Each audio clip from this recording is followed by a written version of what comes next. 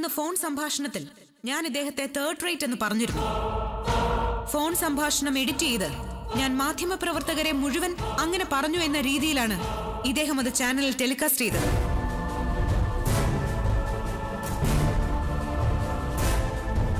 എനിക്ക് ഉറപ്പുണ്ട്. ഞാൻ കുറ്റസമ്മതം നടത്തി എന്ന രീതിയിൽ ഇവർ വീണ്ടും എഡിറ്റിംഗ് നടത്തിയായിരിക്കും ഈ തെളിവ് കോടതിയിൽ സമർപ്പിച്ചിരിക്കുന്നത്.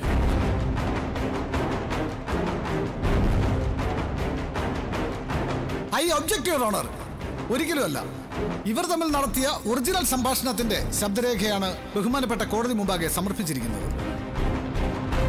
യുറോണ് ചാനലിൽ നിന്നെന്ന് പറഞ്ഞ് ഋഷികേഷ് എന്നെ വിളിച്ച കോൾ ഞാൻ റെക്കോർഡ് ചെയ്തിട്ടുണ്ട്. എന്റെ ഫോണിൽ തന്നെ.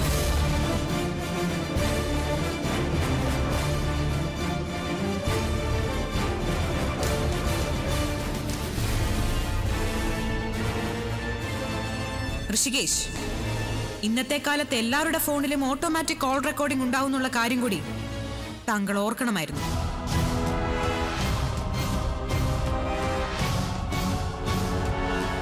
ഈ ഫോൺ സംഭാഷണം പരിശോധിച്ചാൽ കോടതിക്ക് സത്യം ബോധ്യമാവും.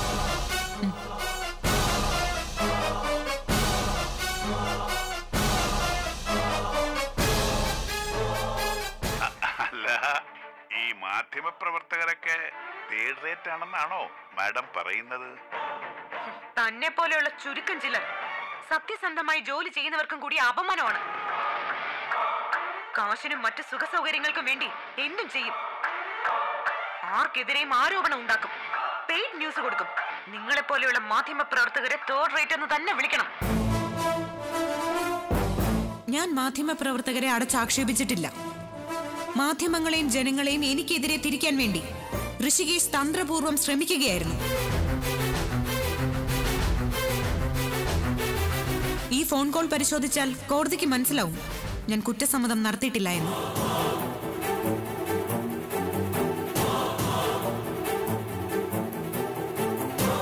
സത്യസന്ധമായി രാഷ്ട്ര സേവനം നടത്തുന്ന ഒരു പോലീസ് ഓഫീസറാണ് ഞാൻ. എന്റെ മുൻ പ്രവൃത്തികൾ പരിശോധിച്ചാൽ കോടതിക്കത് മനസ്സിലാവും. സത്യസന്ധമായി ജോലി ചെയ്യുന്നത് കൊണ്ട് തന്നെ ശത്രുക്കൾ ഏറെയുണ്ട്. ഒരു സ്വാധീനത്തിനും വഴങ്ങാറുമില്ല. അങ്ങനെ കിട്ടിയ ശത്രുക്കളിൽ ഒരാളാണ് ദിവാകരൻ എന്ന ഈ രാഷ്ട്രീയ നേതാവ്.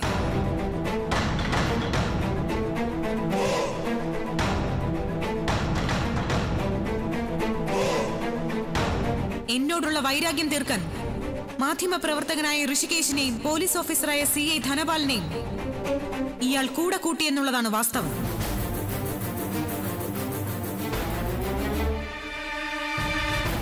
ഞാൻ നിരപരാധിയാണ്. എന്റെ നിരപരാധിത്വം ഞാൻ കോടതിക്ക് മുന്നിൽ ബോധിപ്പിച്ചും കഴിഞ്ഞു. അതുകൊണ്ട് തന്നെ എനിക്കെതിരെ കോടതിയിൽ സമർപ്പിച്ച ഹർജി നിലനിൽക്കുന്നതല്ല എന്ന് ബഹുമാനപ്പെട്ട കോടതിയെ ഞാൻ ബോധ്യപ്പെടുത്തുന്നു. That's all your owner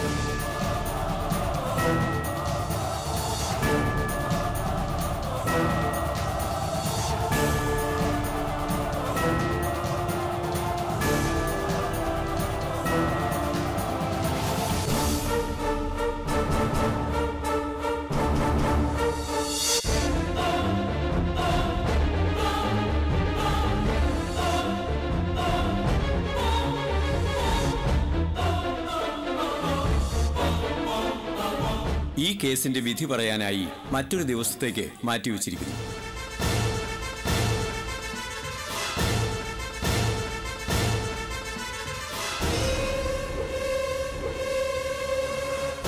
The court is adjourned.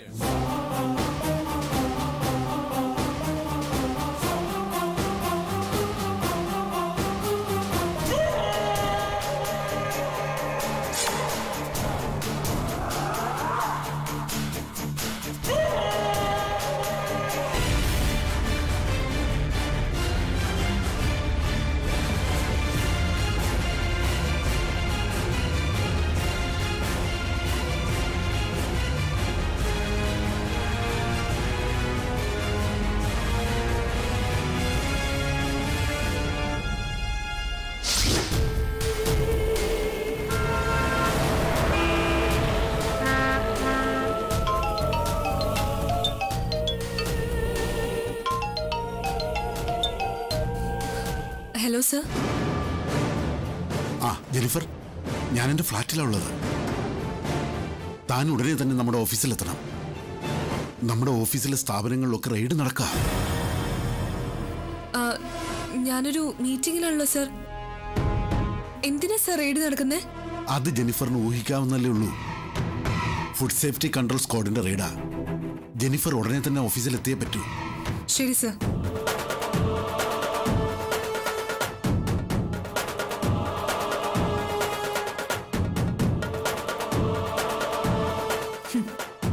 ഞാൻ ചെല്ലും. കയ്യും കെട്ടി സന്തോഷത്തോടെ നോക്കി നിൽക്കും. രേഖകളൊക്കെ അവർ പരിശോധിക്കട്ടെ. അത് താങ്കൾക്ക് ജയിലിലേക്കുള്ള വഴിയാണ്. ഇനി ഇവിടെ റെയ്ഡ് ചെയ്യാനോ എന്നെ അറസ്റ്റ് ചെയ്യാനോ പോലീസുകാരെത്തോ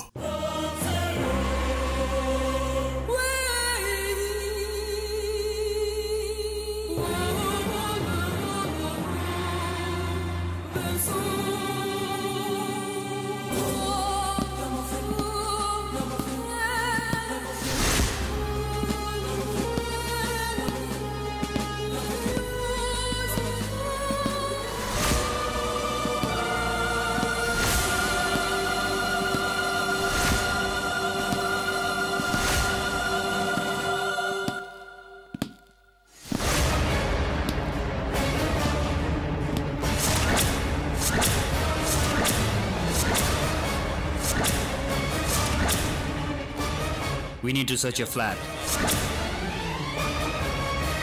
Before that, I want to talk to my advocate. Later.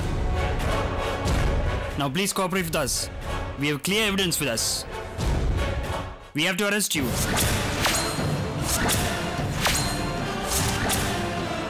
Come on, sirs.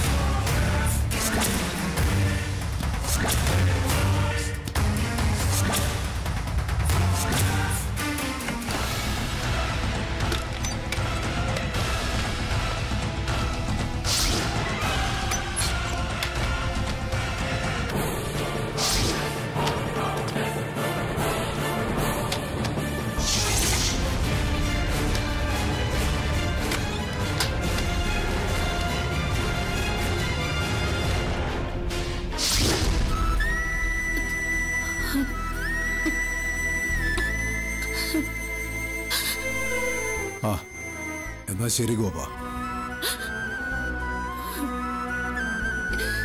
ഒരു രക്ഷയില്ലടോ. നമ്മൾ അങ്ങോട്ട് പോയിട്ട് കാര്യമില്ല.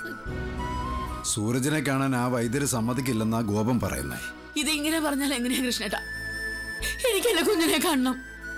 അവിടെ വരെ ഒന്ന് പോയേ പറ്റൂ. ഒന്നും കൂടെ ഗോപനെ വിളിച്ച് കാര്യം പറയുന്നേ.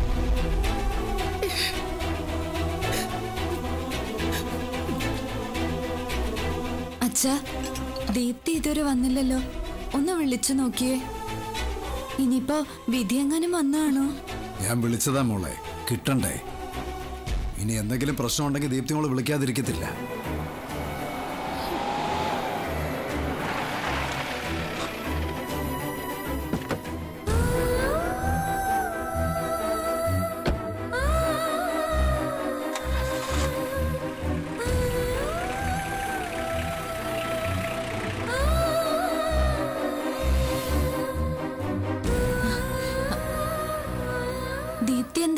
വൈകിയത് ഈ സമയം വരെ കോടതി ഉണ്ടോ?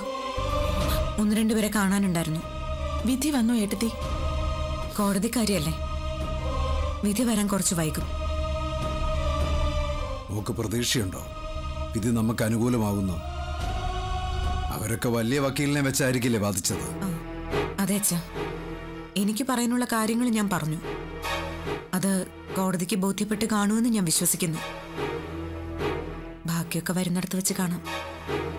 മോളെ മോൾ ഇപ്പൊ കാണിച്ചത് മണ്ടത്തരമായെന്നേ അച്ഛൻ പറയൂ.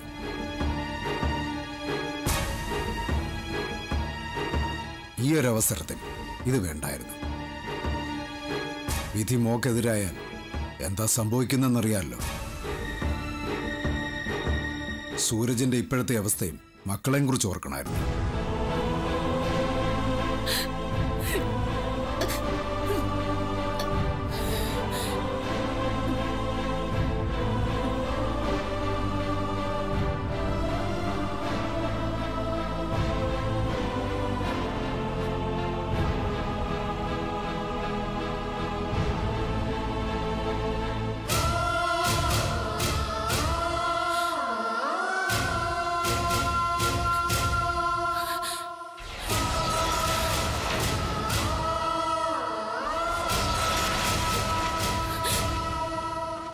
എനിക്ക് പേടിയുണ്ട്. ഈ കേസിൽ ദീപ്തി തോക്കും. ജയിലിൽ പോവുകയും ചെയ്യും.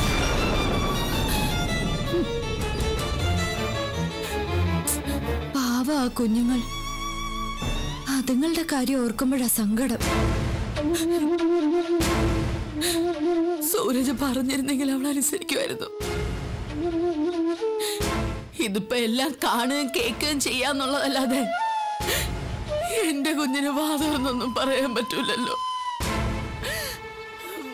ഇങ്ങനൊരവസ്ഥ സൂര്യചേട്ടൻ ക്ഷണിച്ചു വരുത്തിയതെന്നാ പറയുന്നത് ഓപ്പറേഷൻ ചെയ്യാൻ സമ്മതിച്ചിരുന്നെങ്കിൽ ഇങ്ങനൊന്നും സംഭവിക്കില്ലായിരുന്നു. അതുപോലെ മറ്റൊരു അപകടം ദീപ്തി എടുത്തും ക്ഷണിച്ചു വരുത്തുക വക്കീലിനെ വെക്കാതെ സ്വയം വാദിച്ചതിലൂടെ. നിങ്ങൾ കണ്ടോ? കേസ് അവർ ജയിക്കും. ദീപ്തി എടുത്ത് ജയിലിലേക്ക് പോവുകയും ചെയ്യും.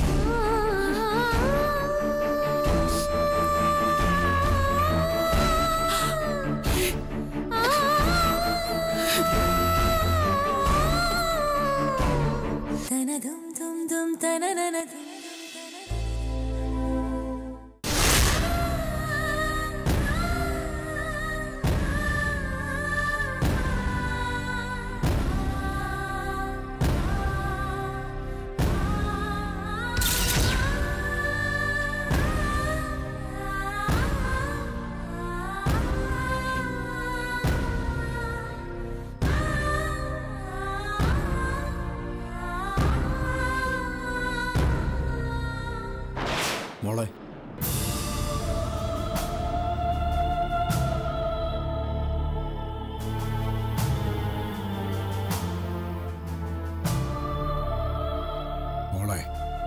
പ്രസവിച്ച കുട്ടിയെ കൊന്നു എന്ന് മോൾ പറഞ്ഞ പെൺകുട്ടിയുടെ ജീവിതം ഇപ്പൊ എങ്ങനെയാന്ന് വല്ലതും അറിയാൻ പറ്റുമോ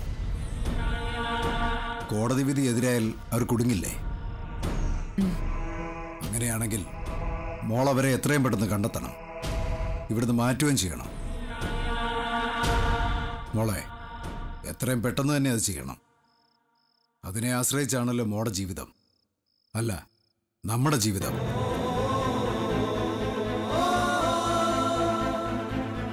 വിധി വരട്ടെ അച്ഛ.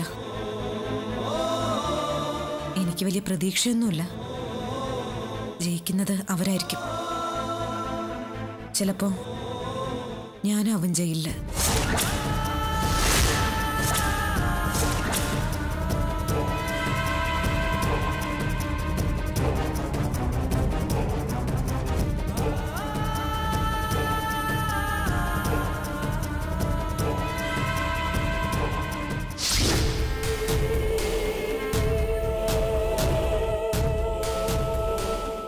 വിചാരിച്ചതിലും വേഗത്തിൽ കൃഷ്ണകുമാർ എന്ന സമ്പന്നൻ ജയിലിലായി. ഈ വാർത്ത അറിയിച്ചാൽ സച്ചിന്റെ കൂടെ അനുപമയും ഇവിടെ എത്തും അനുപമ എന്നെ കാണുന്നതോടെ എല്ലാം അവസാനിക്കും. എന്റെ ലക്ഷ്യം നടക്കില്ല. എങ്കിലും അവരെ വിളിക്കണം. ഈ സന്തോഷ നിമിഷത്തിൽ അവരുമായി സംസാരിക്കണം.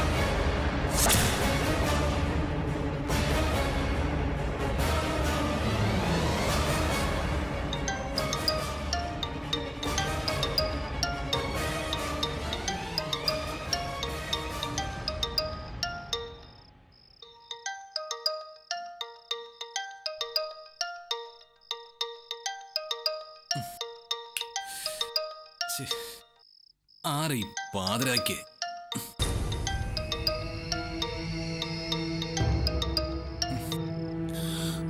ഹലോ?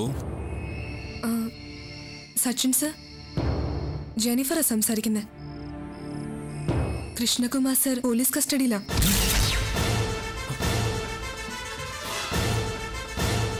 അതറിയിക്കാനാ വിളിച്ചത്. എന്താ ജെനിഫർ പ്രശ്നം? കഴിഞ്ഞ തവണ കമ്പനി ഇമ്പോർട്ട് ചെയ്ത ഫുഡ് പ്രോഡക്ട്സിൽ എങ്ങനെയോ മായം കലർന്നു. അതുപയോഗിച്ചവർ പലരും ഇപ്പൊ ഹോസ്പിറ്റലിലാണ്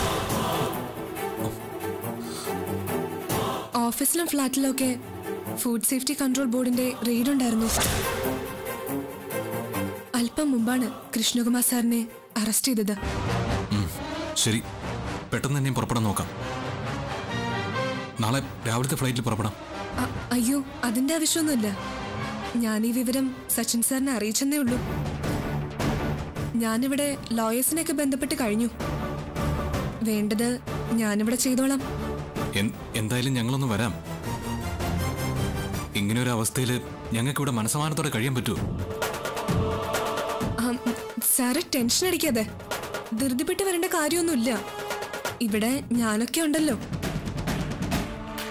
പിന്നെ ഈ കാര്യം നിങ്ങൾ അറിയിച്ച് വിഷമിപ്പിക്കരുതെന്ന് എന്നോട് കൃഷ്ണകുമാർ സാറ് പ്രത്യേകം പറഞ്ഞിരുന്നു. നിങ്ങൾ വന്ന വഴക്ക് കേൾക്കേണ്ടത് ഞാനായിരിക്കും. ഒരു പ്രശ്നമില്ല എനിക്ക് സാറിനെ പെട്ടെന്ന് തന്നെ പുറത്തിറക്കാൻ പറ്റും. എങ്കിൽ ഞങ്ങൾ അങ്ങോട്ട് വരുന്നില്ല. ജെനിഫർ കാര്യങ്ങൾ അപ്പപ്പോ വിളിച്ച് എന്നെ അപ്ഡേറ്റ് ചെയ്യണം. എന്ത് പ്രശ്നം ഉണ്ടെങ്കിലും അപ്പ വിളിക്കണം. ശരി സാർ. ഓക്കെ.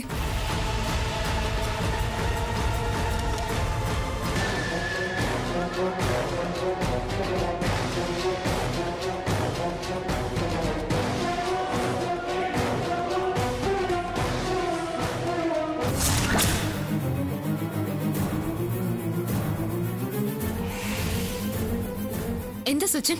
എന്താ പ്രശ്നം? അത് ജെന്നിഫറ വിളിച്ചത്.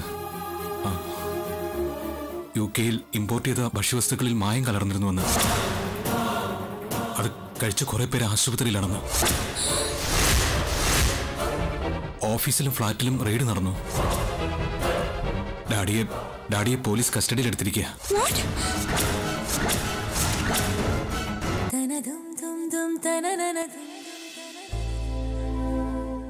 ഡാഡിയെ ഡാഡിയെ പോലീസ് കസ്റ്റഡിയിലെടുത്തിരിക്കുക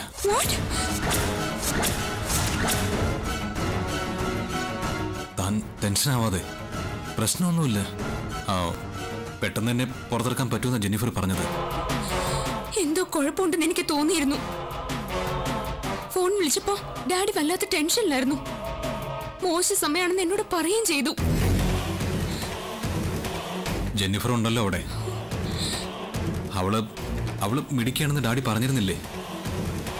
അവൾ കാര്യങ്ങളൊക്കെ നോക്കിക്കോളും. ഡാഡിയെ പുറത്തിറക്കിക്കോളും. എനിക്ക് ഡാഡിയെ കാണണം സച്ചിൻ.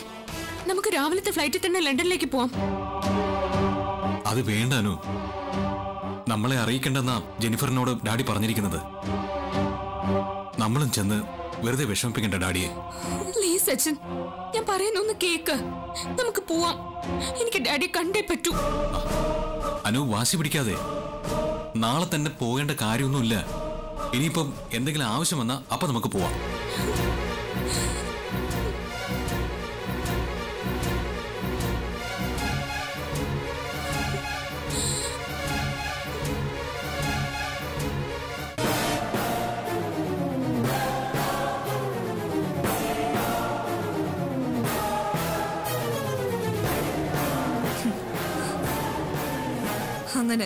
നിന്റെ അച്ഛന്റെ കാര്യത്തിൽ ഒരു തീരുമാനമായി. അങ്ങേര് ജയിലിലായി. വൻ തുക അതായത് കോടികൾ നഷ്ടപരിഹാരം കൊടുത്താൽ പരാതി പിൻവലിച്ചേക്കാം. പുറത്തിറങ്ങാൻ കഴിയുമായിരിക്കും. അതിന് ഉള്ളതൊക്കെ വിറ്റ് പെറുക്കേണ്ടി വരും. നീ എന്നെ നശിപ്പിച്ചു. പണക്കൊഴുപ്പിൽ മുങ്ങി നിവർന്ന് പരിശുദ്ധയായ നീ ശിക്ഷയിൽ നിന്നും തടിയൂരി. ആ നീയും കുടുംബവും തെരുവിൽ ഭിക്ഷക്കാരെ പോലെ ജീവിക്കുന്നത് എനിക്ക് കാണണം. എന്റെ ആദ്യത്തെ ഇര നിന്റെ അച്ഛനായിരുന്നു. അയാളുടെ കാര്യത്തിൽ ഒരു തീരുമാനമായി. ഇനി നിന്റെ ഭർത്താവിന്റെ ഉഴവ. അടുത്ത ഇര അവനാ സച്ചിൻ.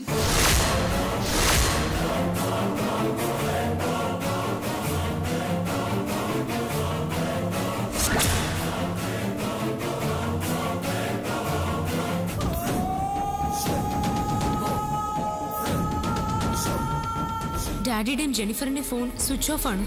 എനിക്കിവിടെ ഒരു മനസ്സമാധാനവും ഇല്ല നമുക്കൊന്ന് ലണ്ടനിലേക്ക് പോവാം. സൂരജിനെ കാണാൻ പറ്റാത്തുള്ള വിഷമം എനിക്കുമുണ്ട് പക്ഷെ ചെന്നാ കാണാൻ പറ്റില്ലല്ലോ. ഒരു കണക്കിന് പോകാത്തത് തന്നെയാ നല്ലതാ. എന്റെ കുഞ്ഞിന്റെ ആ കിടപ്പ് കാണണമല്ലോ.